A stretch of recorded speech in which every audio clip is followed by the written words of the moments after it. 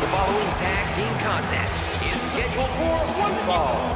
On the way to the ring, Mike Swanson and Chameleon Jones.